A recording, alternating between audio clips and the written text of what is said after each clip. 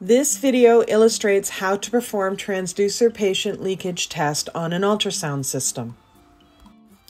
The following equipment and tools are needed for the testing. An electrical safety tester, 0.9% saline water, a container, an ECG lead wire or electric wire.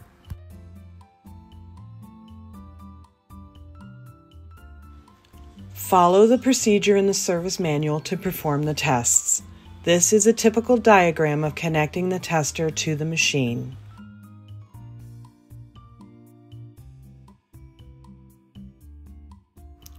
Take BC Group SA 2005 Safety Analyzer as example. Plug the ultrasound machine power cord in the tester and connect the tester to AC power outlet.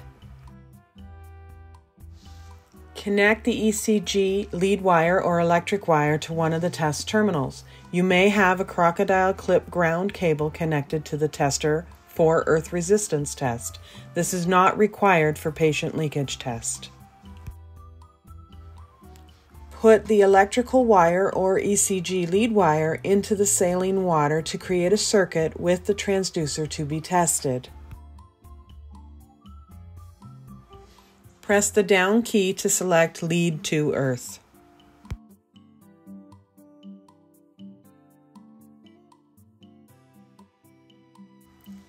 Then press the test terminal toggle keys to select Lead 1, which is the terminal the lead wire is connected to.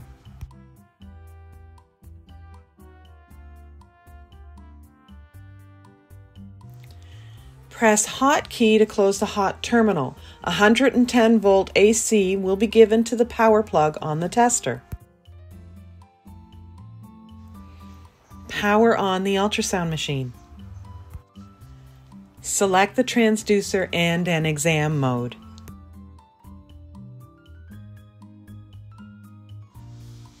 Put the selected transducer into the saline water. Make sure the lens is submerged in the water.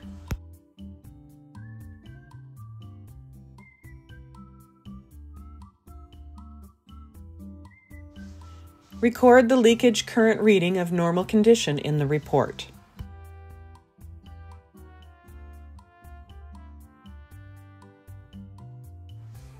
Shut down the ultrasound machine.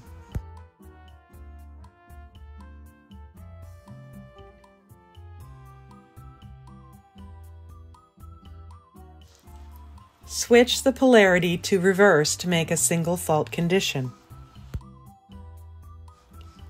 Power the machine back on and record the reading for single fault condition. Shut the machine down, then repeat the whole procedure for the other transducers. Thank you for watching our tutorial.